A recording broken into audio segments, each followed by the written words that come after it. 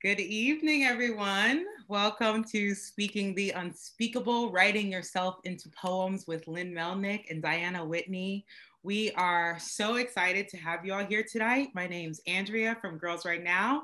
I'm going to talk you through a little bit about how this event will go, how you can share, and then I'm going to pass it over to our lovely guest artists. So today we're going to hear from Lynn and Diana in conversation. They're going to be talking about their journeys as writers and editors and all the good things in between.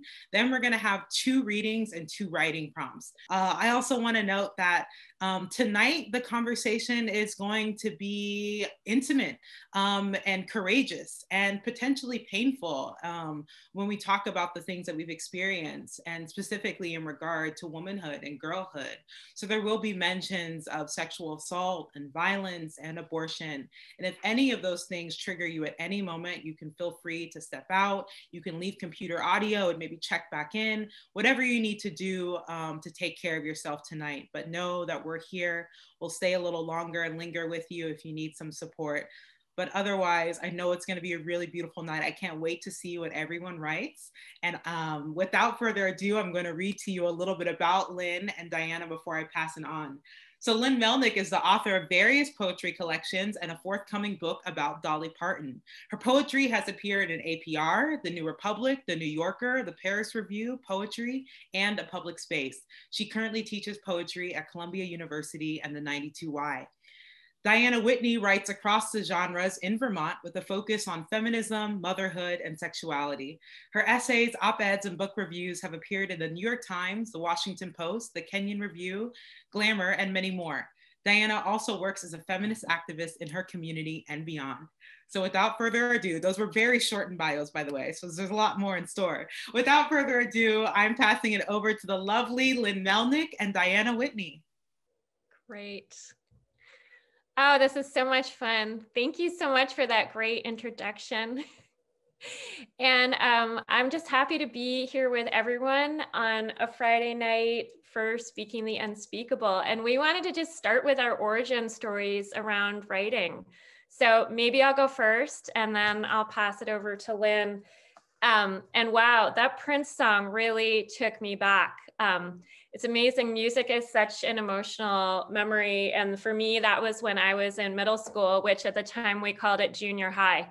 And um, that was a really profound and unresolved uh, time of life. It was really painful. I, I kind of think maybe everyone has a time of life which is tender, still tender to the touch, like a bruise. And um, that was that was it for me. And I I think when I wanted to create this anthology for for teen girls, I was thinking about my 13 year old self and that girl who really struggled with cyclical depression and self loathing and even self harming.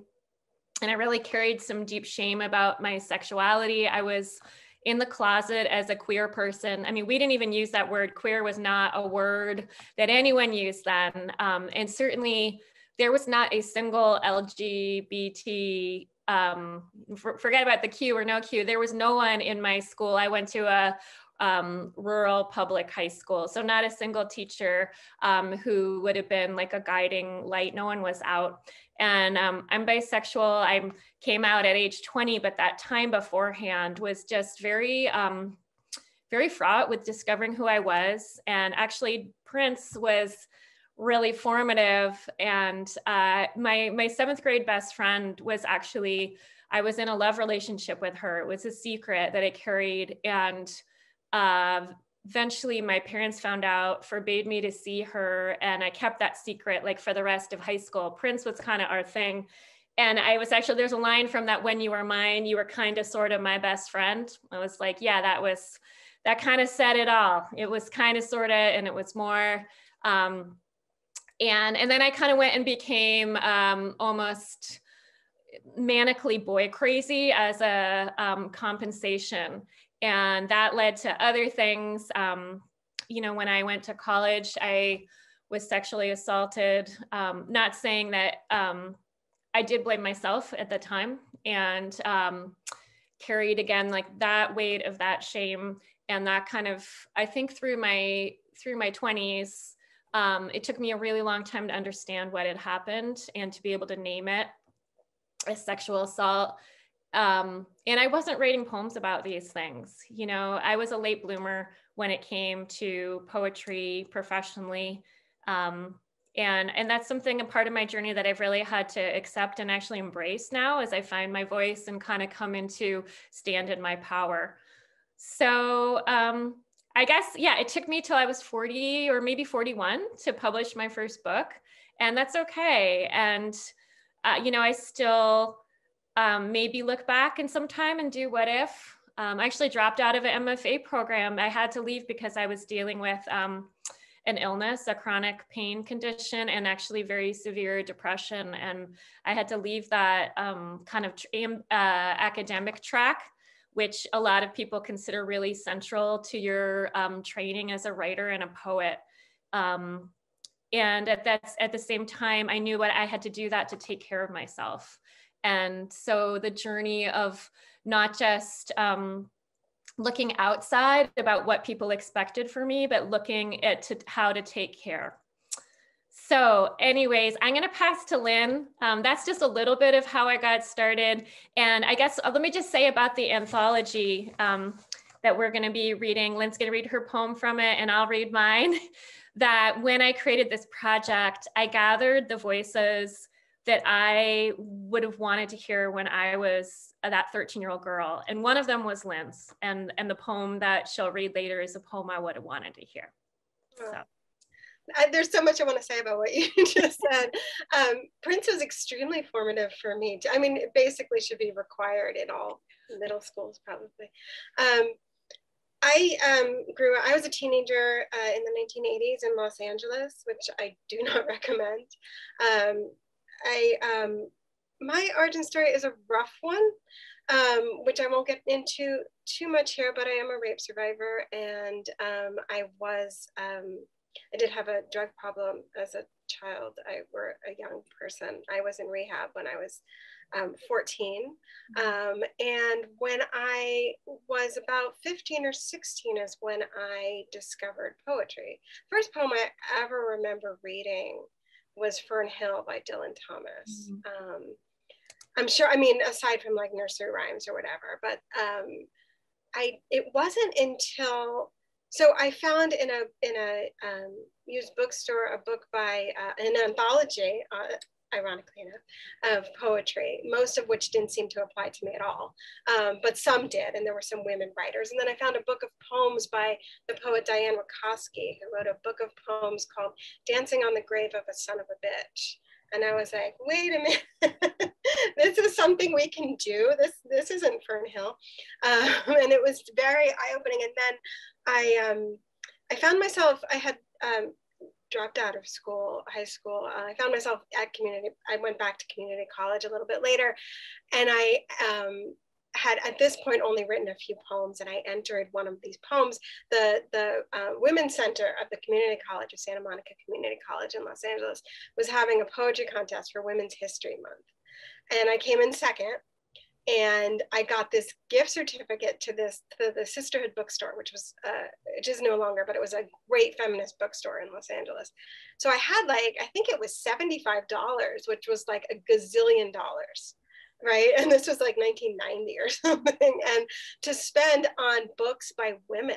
And I was just, and I didn't even know this bookstore existed. Like I just met it at, when I showed up there with this gift certificate and I bought all these books and I suddenly realized all the things you could say. You know, I bought like, remember I bought Alice Walker, I bought Adrienne Rich, you know, like I was just like going like bananas in there, like realizing that that women could say things that I had not yet said. And then just sort of to quickly go through the rest of the, or just, I did end up going to a four-year university and grad school and MFA and all that, but one of the issues that I ran into was that the stuff that I was writing about, I, I read a lot about violence. Um, and the stuff that I was writing about didn't seem to be the appropriate topics um, for poems, right? Like I, I had in college, I, I brought a, I was right, I was um, in a very uh, troubled relationship at the time and i kept bringing in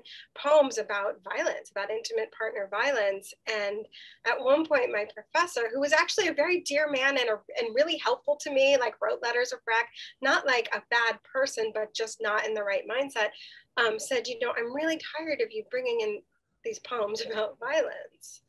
And I was so like flipped out by that. I just stopped writing about it um, publicly. I just wrote about it, you know, like on my own, trying to find acceptable topics. And then I went on to MFA school, and it was a similar thing. I kept trying turning myself into like into tying myself into knots, trying to not write what I wanted to write. Um, and so my um, and I think because things are changing, this sort of like late blooming origin story thing, like Diana was talking about, will hopefully be less common. But it took me a lot of years to um, actually come into what I wanted to write about and write about what I needed to. And so I was, I think, 38 or 39 when my first book came out. And then once that happened, I was just like, you know what? I'm just going to write whatever the hell I want to write. And I like my books since then are just like, take it or leave it. I don't care. you know, like this is what I write. But um, but it took a while. Um, and there was a there's a there was in the 90s and to, in the aughts like a lot of gatekeeping about what women were allowed to say. Um, and so that was a problem for me, I think, um, in sort of getting my work out there and getting published. That's so fascinating. I love the um, the sisterhood bookstore and like that this image of you going in there with $75 and and just this cornucopia of, of poets. I will say um, I didn't I didn't really read poetry when I was a teenager. Like in in high school, our English teachers, I mean, at that point I was writing, but I was mostly writing secret poems in my journal.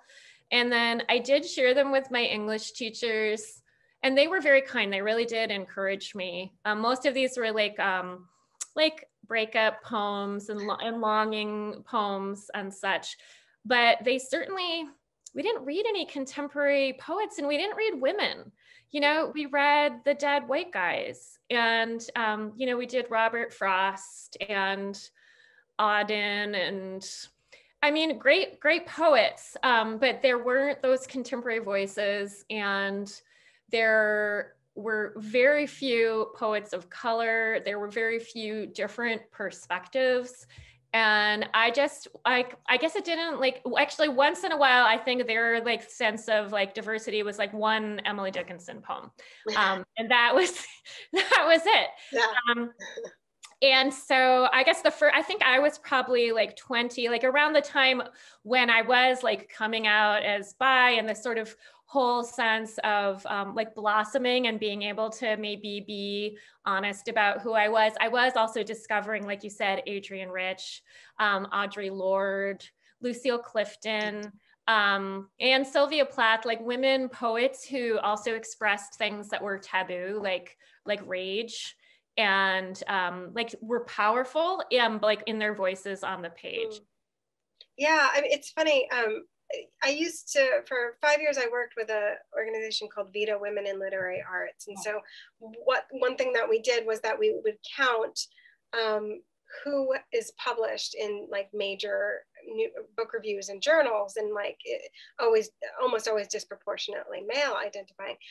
And so, we partnered at one point with Girls Write Now to have the girls count their syllabi um, in their high schools. And what we found when we did it was a lot of like all uh, you know, mostly dead white men, and then Toni Morrison. It was like it was just like oh, it was kind. Of, and my daughter's, um, who's in high school now, her syllabus so far this entire school year has been all male. Um, so I don't, and she's in a public, a big public high school in New York City. Um, I yeah, I I don't. I don't think that's changing as much as we'd like it to. Um, and I feel like my discovering you know, the poet Diane Wakoski, just like randomly because I thought the title of that book was so like edgy, you know. I was like, oh, I want to read this, and then I realized it was poetry. Like that was all random. Nothing was being taught um, to us. So I think like one way that like we come into our own as poets is almost like we have to like stumble upon it um, and stumble upon what we both read and what we can write. I think. Yeah, and I I think even like even in the 90s when I was being introduced to like the feminist poets and some of those like powerful voices um, the question of like what was acceptable to write, like writing, um, writing about violence, writing against violence, about violence against women. I mean, at that point, I, I think for me, I didn't have a model of someone saying, "Yeah, this is a topic." Yeah. Um, right. I really didn't, and um, I think you know I sensed enough like the risks that you take when you come forward with with a story.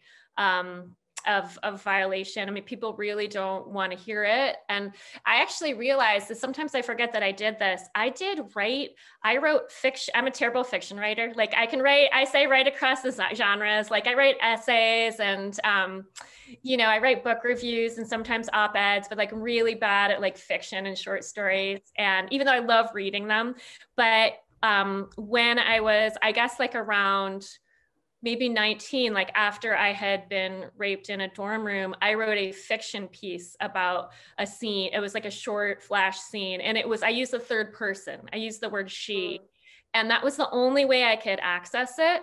And I actually went back and looked for it. It was called Carnival. And reading it now with my eyes now, I think anyone reading this should have known that like something really bad had happened to mm. the speaker in the story but no one said anything. And it was like it ran in like the campus, um, like the feminist newspaper. That was actually uh, like an editor. It was called Spare Rib. That was one of my. Um, I almost transferred from my college after this had happened because I was also I was sexually harassed. I mean, there were like a lot of sort of really disgusting rape culture things that happened to me, and I was like, I have to leave this place. But I ended up staying and finding um, like some powerful older women and some mentors um, and this this like spare rib newspaper which kind of like galvanized me to find my voice.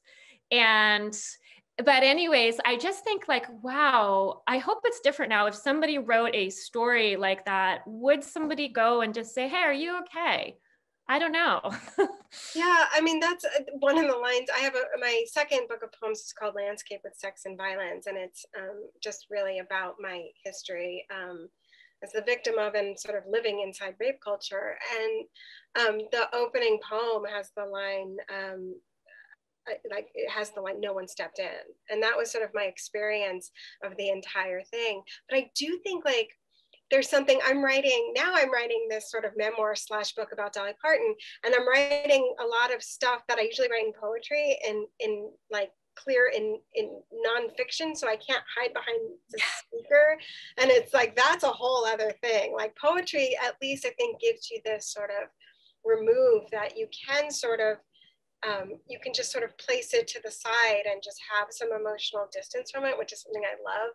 And you can play with the words and you can just sort of make it more comfortable.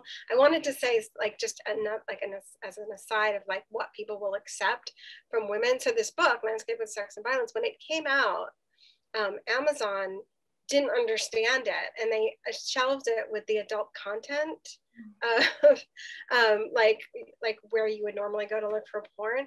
Um, and so like it took like three weeks for my publisher to and like a lot of people like writing in to to sort of turn it back into like a regular book but it was like they saw this book and they thought this has this can't be for general audiences. This must be something you know um, illicit or something like that. And i thought like we are like i knew there would be pushback against this book which is just all about rape culture but i didn't think it would be like that much. I, know.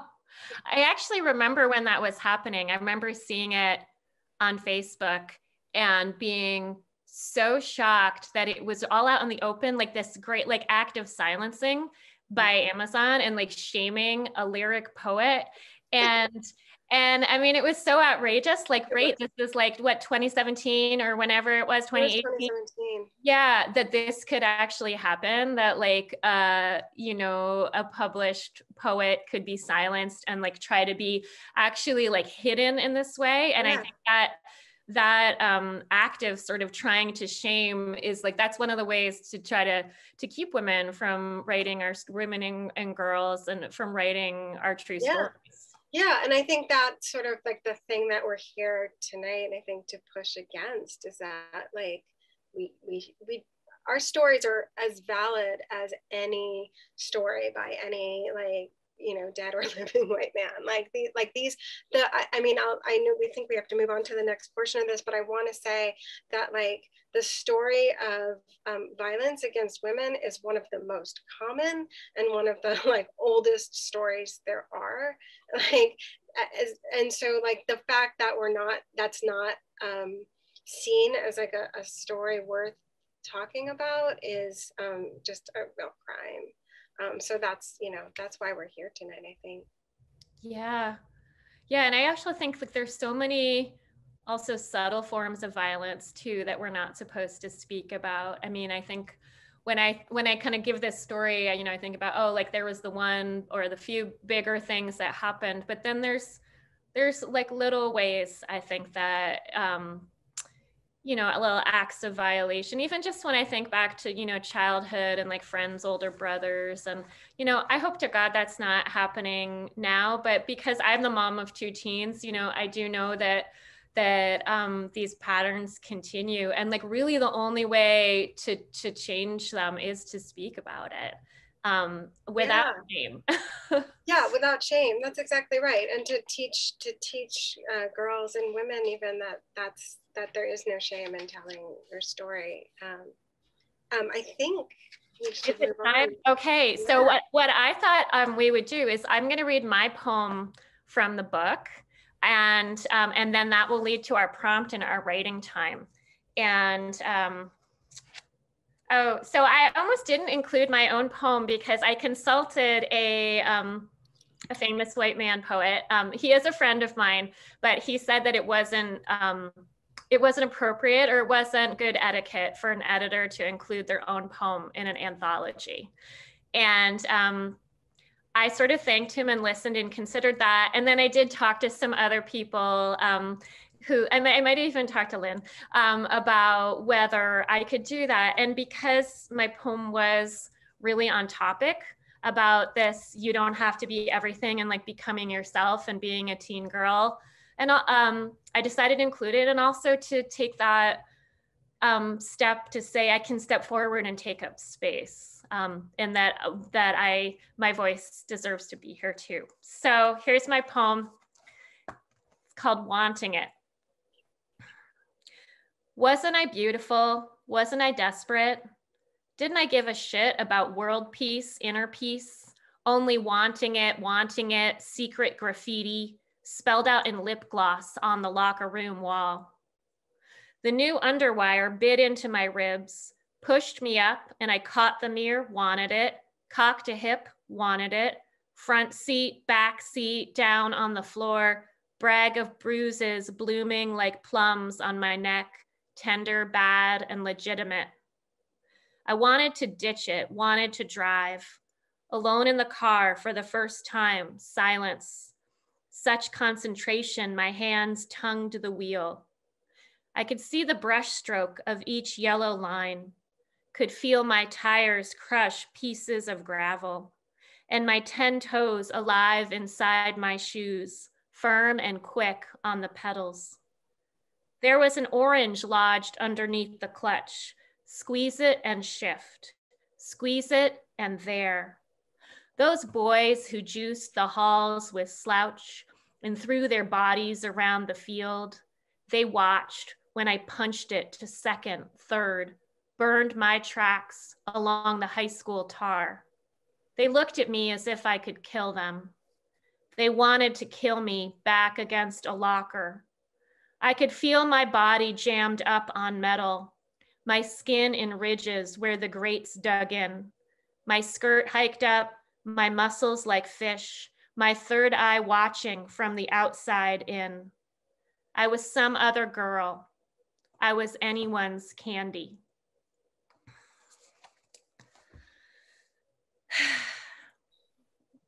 so I wrote that poem probably in my um, like mid or late 20s and looking back on high school. And it was maybe the first poem I'd written about that time and it's like a lot of like trying to find power and um, in like my awakening sexuality. But when I look back now, after I really became um, open about having been sexually assaulted, what I saw it, that I'd written in this poem without being aware of it was um, the experience of, of looking outside myself, of being dissociated, which is actually a common experience for um, being a survivor of trauma. So my third eye watching from the outside in, I was some other girl. Like that was kind of like how I saw myself that whole time of like being um, in high school. Like I was always looking from the outside, like like did I look pretty or was I sexy to the to the these boys who held all the power in our high school, or was I too sexy? You know, there's always that risk, and um, I think I mean, I don't have any regrets about this poem, but like if I could go back now and like write the high school poem, maybe I will, um, it would be different. Like it wouldn't be the dissociation part. Um, I try to stand in my body and like feel it. Um, so I think we should um, do our first prompt and I will read it and then there are gonna be some images too. So cut out your, your journal or your phone or whatever you're gonna use to write. Write a poem that's rooted in a taboo emotion, which could be sadness or rage, longing, desire, or shame, as we've talked about. Um, and I think um, we might see some images from the book here. Is that possible? If not, that's okay. Um, yeah, there. So there's some of these. Um, the the the book is illustrated, and these artists rendered some of these emotions. So there's loneliness.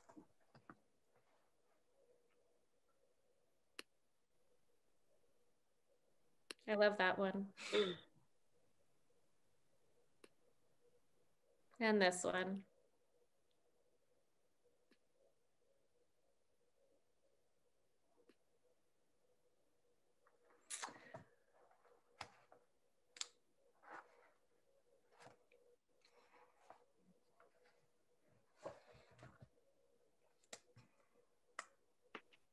So I'll keep scrolling through, but I'll play some music as we write for about six to seven minutes. Great.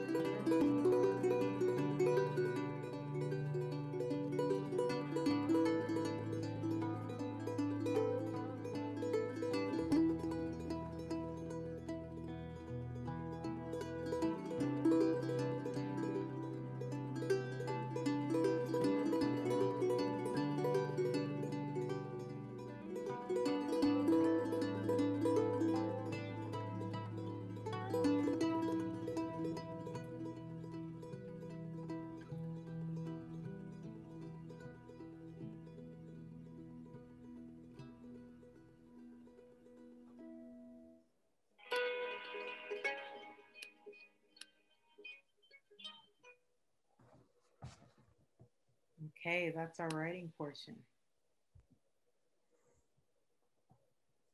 So we'll open it back up for sharing now.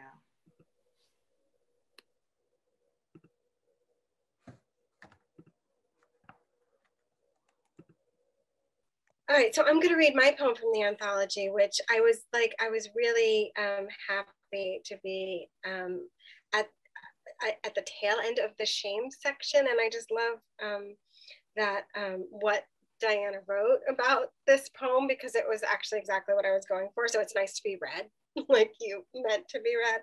Um, and she says, we, we can realize that the shame others have invented for us is false, as Lynn Melnick discovers in her poem, and refuse to carry it anymore. And that's what my poem is about. And trigger warning, it's about abortion. Um, it's called Landscape with Clinic and Oracle. Maybe you're not the featherweight champ of all the cutthroat combat sports, 15 and pregnant again. But you'd convert your ring corner into a slaughterhouse before you'd inquire after human kindness. In the humdrum flare outside the clinic, you wait for a ride, feel the spill at the tipping point trickle down your inner thigh as you bask in the post industrial particulate on your skin ash into a jasmine pot's bituminous anchorage, so tacky it glows in a habitat that spent your body long before it finished growing. Lynn, they lied to you, don't you know? Your womb will be the first thing to heal. What you smell is pleasure, not the rot of the thing amid the waste. You will have babies. You will write poems about flowers that turn on in darkness so this poem was just obviously me writing to my if i if i could write a poem to my 15 year old self. Um, and um, i will tell you a very short anecdote about this um, which is that um, after i hadn't really written um, a poem before. I'd written very angsty song lyrics. And after um, the setting of this poem after this i had gone outside this clinic and i realized that i was bleeding onto the um, onto the uh, steps that I was sitting on. I was waiting for my ride, and there's just like blood everywhere. And um, I went home after that, and I wrote my first poem, mm. which was about this, about sitting on the steps and experiencing all that blood. And um, you know that that that did not turn into this poem. And so obviously I was a very, very new poet at the time um, and didn't really know how to articulate what had just happened. But um, that was the experience that made me sort of, I think of that experience as what made me into a poet. And, um, and so this poem being in this anthology is very close to my heart. It means a lot to me. Um, so um, what, when I look back on it, I think, wow, like 15 year old Lynn would be like, like mind just blown. like we could fast forward to this very moment and be like, no way. Um, so that's that's so to thank you all for this gift. Um, but I want so I want to introduce the next prompt, um, which is sort of um, thinking about um, writing a poem. Uh, saying what you're not supposed to say um, and saying the thing i often tell my students you know from my i teach high schoolers and i teach grad students like a whole range that like just say the thing that you need to say um, and you never have to show it to anybody right? Like you just you never like i have in my book landscape of sex and violence that i mentioned i have a poem that i took out at the very last minute and i was like i you know what? I don't want to share this with the world and i didn't. It was a fine poem just as good as all the other ones but it was mine um, so write with the intention that no one ever has to see it and you can change your mind and show the whole world, but you don't have to. You're writing it for yourself. Um, and I think for me, that's freeing and I hope it is for you. Um, so, um, so basically this prompt is that it's write a letter to someone who would never get it. Um, or um, write a poem that is a series of text messages that you're never actually going to send with the caveat that maybe you will, but you don't have to. So that's and I guess you have how many minutes for this? Yeah, about five to seven minutes. Five to seven minutes. All right.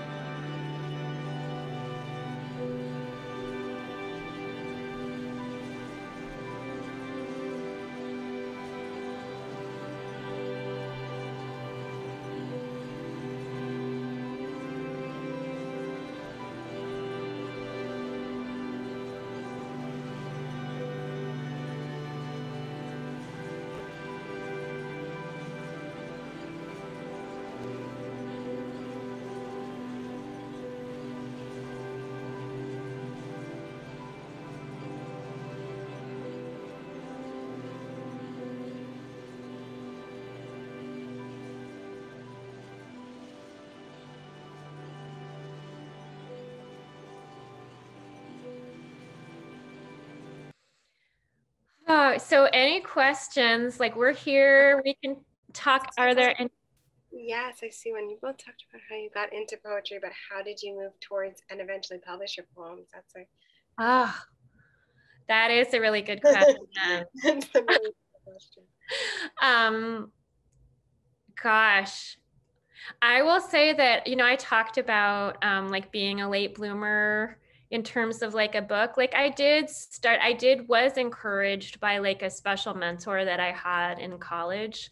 And that was actually something i was going to ask you lynn and maybe in the, your answer to this was like who was that person who you know you talked about the professor who was like oh don't write those violent poems but like who is a person who who read your poems and and saw their their worth and like told you to keep going or to send them out um, I, I eventually I had a, a professor in college, and I don't know if I published anything then, but it was enough to like keep going after that. Sometime like in my mid twenties, I guess. Um, yeah, I mean, I think my trajectory was sort of um, not a straight line because I went to an MFA. I did have some early success in publishing.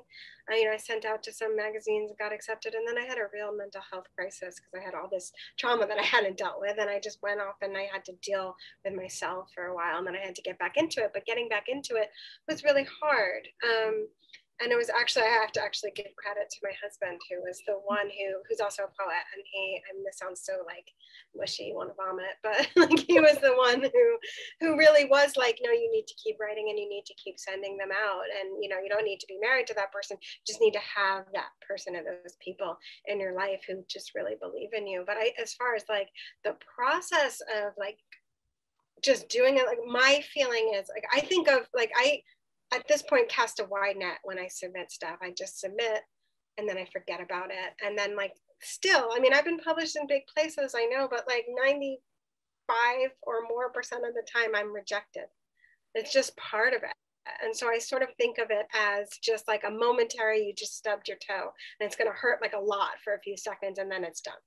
Like it's, that's to me what rejection is. And then, so I think it's like casting a wide net and just honestly, like in all my years of teaching um, grad students who are in grad school to like seriously dedicated to writing, the ones who have been the most successful aren't necessarily the most talented. They're the most resilient and persistent by far. They just didn't give up. And that's like the best advice I have that I can tell you from my own story and, and from Diana's, but also just from seeing like young people who, you know, some of the brightest stars just couldn't keep at it. And so keep at it is the best advice I have.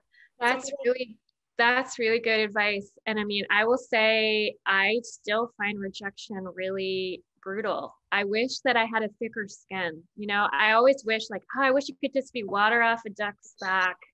And um, I just recently went through this with like a piece that I published, um, like a, a, a prose piece. And um, it like faced a lot of rejection before being accepted by the Washington Post, the Lily, and and there were like some dark times of like, wow, um, just like intense self doubt.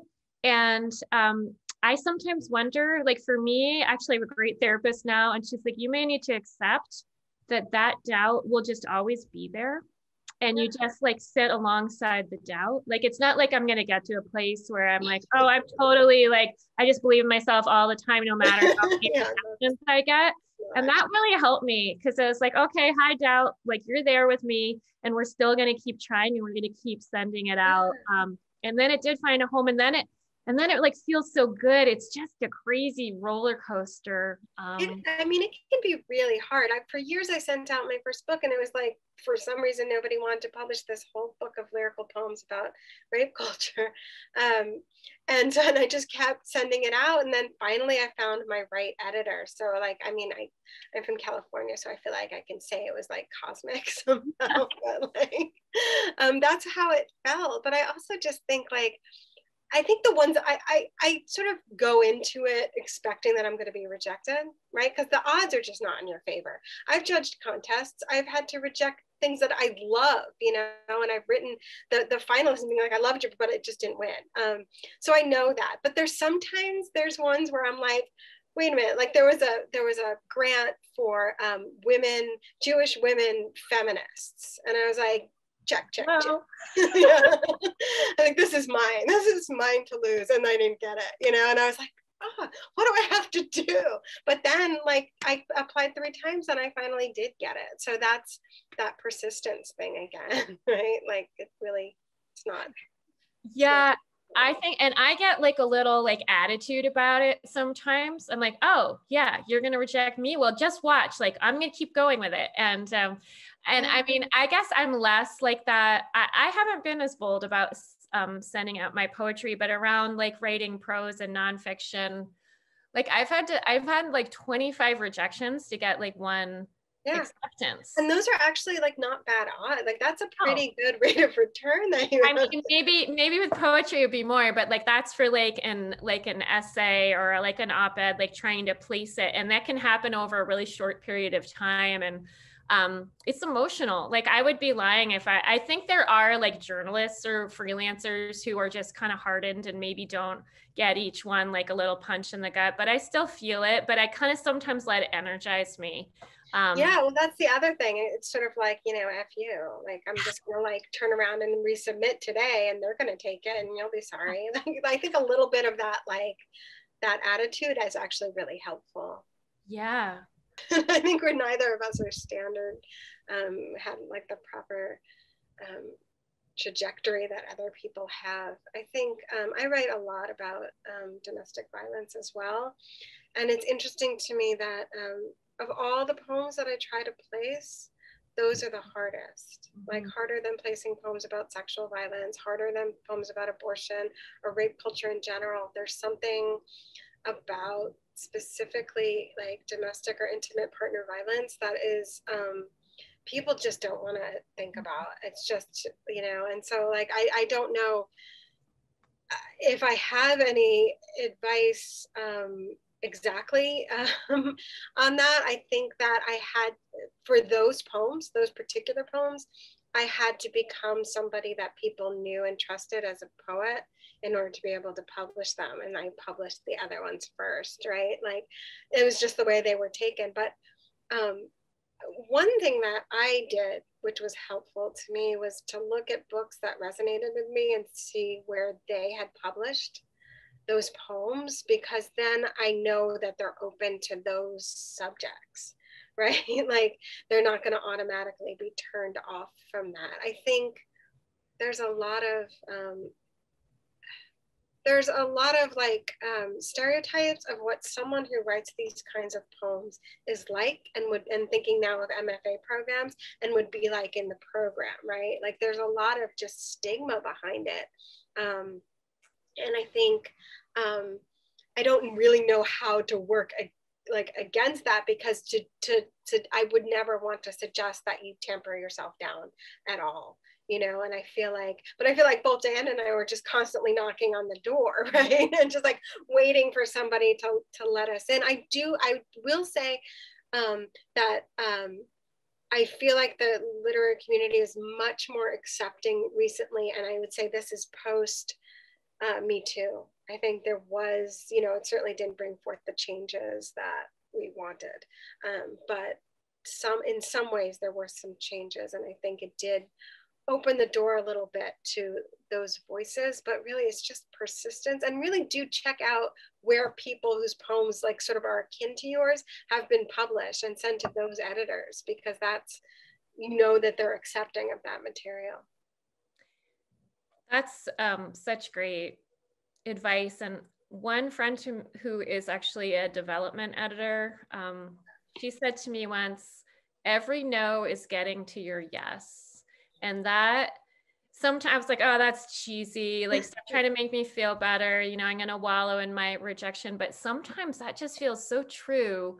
And even when lynn you talked about like finding your your editor who finally really got and saw your work. And so christina you know when you're looking at those mfa programs it's like it may be worth waiting for your yes you know like all these no's um, for not like seeing and valuing your work but there is going to be one that really um, that that yes is worth waiting for and and I guess I've had some luck. I mean, I haven't, I've sort of, for a while, I was submitting to like the big, um, the big fancy places and like Lynn's work's been in there, which has been like so, um, it gives me hope, right? But I, actually more lately, I've like been submitting to more like journals for women and like, um, where I actually love the poems. So I'm not like, this is some lesser thing because I love the work and they've been taking some of my work. And so that's kind of where I am right now. Like I've sort of sought out those specific like feminist um you know literary journals and yeah. you can search for them i mean that may be one like yeah. road in for some of that subject matter and then yeah um yeah and also editors like find out who the editors are and if like they seem feminist and what their taste seems like and that might be a way to go i mean i have I'm, i have um very mixed feelings about this subject of like um, journals specifically for certain groups because I think they're entirely necessary while we're still being kept out of um, so many of the mainstream publications. But I also think, because I, I do get the question a lot where people are like, where can I send my poems about violence against women or about this or that? And my feeling is, um, and, and it's because I was so like silenced for so long. I'm like, you can send them anywhere you would send any other poem because the story of, you know, domestic violence, you know, of men harming women is like one of the oldest stories. And so like that's there's they good they it, it belongs everywhere. Um, but that said, you know, that doesn't mean that everyone else is on the, is on the same page, right? Um, so um, definitely, I think seek out places that are more amenable to um, to women's stories is is a good way to go. Especially then you can sort of build your resume and and then keep sending more widely. Hmm. Any other questions about writing or creativity or anything we've talked about? Yeah, I'd say we probably have time for one more question. So no pressure. Asma is asking about editing poems. Yeah. Do you edit your poems much? Um, I do. I I enjoy editing. I mean, once in a while, I feel like I'll get a gift poem that kind of comes out almost in its form. Um, and probably everyone here kind of knows what that's like. Um, but a lot of them get worked over and I enjoy that process. Like I, I, um, even if it's like changing one, you know, one word or one line like that revision of like seeing again, like, um, I, I do. So I, yeah, I'd be interested in what Lynn says. Yeah, I mean, I think um, those gift poems. I think we got a few of those tonight. Yeah. some of those, right? Um, those are few and far between for me. I'm like a compulsive reviser. I'm constantly tinkering with um, stuff. I, I, write first in prose. Um, that's just how it all comes out because it's faster for me. Because if I stop and think about what the line breaks are going to be like and the rhythm and the stanzas and all of that, it just slows me down and my brain is often going so fast I can't keep up. So I write in prose form. So then I have to find its proper form. Um, so even beyond the words, I have to find like how is it going to look best? Like I have the the title poem to my next book is like the it's like the anchor poem. It's like this really really long poem. Um, and I started it in 2018 and I didn't finish it until like late last year when I like finally found the right form for it. And I had it, and, and I, at some point, I was like, I had given up. I was like, this thing flopped. Like, I'm just going to have to rewrite a whole title poem. And I was like, I'm so upset. Then I tried it in a different form, like it had been in couplets, it had been in sections. And then it was just like an all, like just one line at a time with space in between. And it was like, it like opened up. It was just like I had watered it correctly, and it just sort of like opened up. And I and I like I didn't change a single word, right? I just changed the way it looked, which is something I love about poetry. uh, like how that happens. That's fantastic. That's such a hopeful story, and yeah. what's so cool is that there are all these forms or um, structures available to us. You know, like how it looks on the page, not just how um, how the language sounds and works together. Yeah, I love that. I, I always tell my students when the semester's over, like, send me your work because I want to see how it grows up, right? Like they're like children. You want to see how it turns out for them, you know? And and so and a lot of them do, and it's so exciting. Or like, um, you know, I've been teaching long enough that some of my students have books now and like i open their book and i can see like i recognize some lines from like what was a draft at one point and that's just so exciting to me that like because like I mean, there's some, some people will think like you don't want to touch it too much, but I feel like you have to, again, like a child, you have to figure out who it is and then help it become its best self. And I feel like revising it is like helping it become its best self. I, I think it's the most exciting process. Obviously, I'm like geeking out over here, the idea of editing, but it's exciting.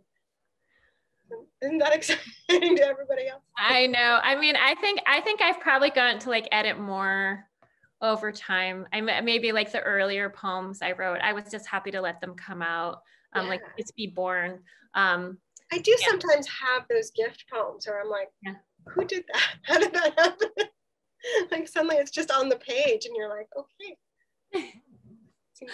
that was a great question and I, I think it's good to know that like the work that you read published work that you read of somebody's um, like you know in an anthology or in the paris review or the new yorker or wherever you're going for famous poems like somebody may have done like it took two years of revisions like lynn just talked about yeah. you know? I think that's a great thing to remind everyone. I think of it sort of like the way uh, dancers make it look so easy, but there's just no way we could do what they do. Like it looks like, oh yeah, you just like leap off the ground, full splits. It's like no problem, you know. But like that's sort of what we're doing.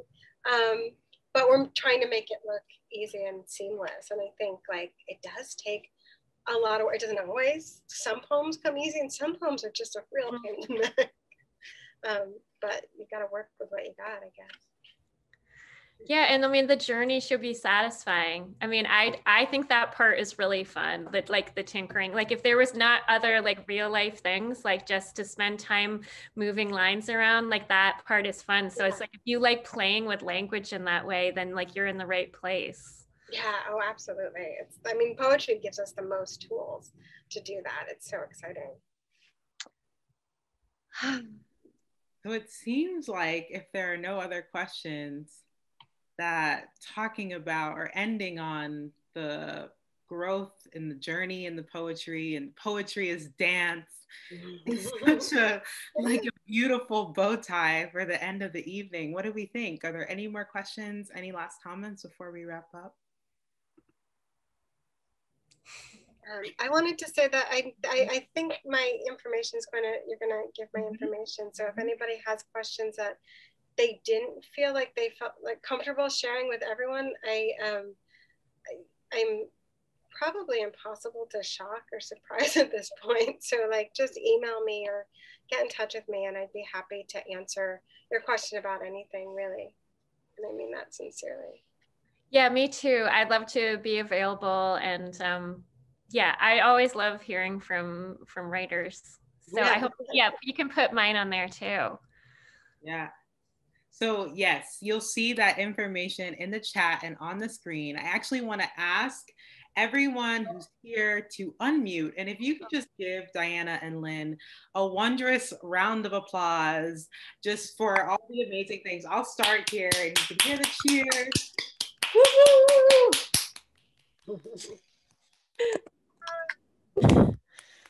this was beyond um, the space that you both created tonight, the intimacy, the sharing that was here. I so I'm also I'm thanking Diana and Lynn, but I'm also thanking the writers in the room and the listeners in the room for just holding this space. And I'm just so honored to be here tonight, to have listened, to have heard, and to have Diana and Lynn's voice with us tonight and really guiding us through their journeys and poetry as a journey. So thank you all so much. Thank you for being um, a part of the Girls Write Now community. And when now we're going to pester you and, and you're going to be in our community for, for forever because we're so thankful. So I'm just going to finish up with a couple of things. I also want to thank essential workers and um, frontline workers and advocates for justice. We are in a tumultuous year and, and it continues. And um, I want to just thank all the people who are out there, whether you're an activist, whether you're a grocery store worker, whatever you are doing and surviving, we appreciate you. And, and we want to honor all of that you're doing right now. Mm. I also want to say that if you are interested in being a part of Girls Write Now in any way, there are a few ways you can get involved. Of course, you could donate to support more free programming like this at girlswritenow.org slash give.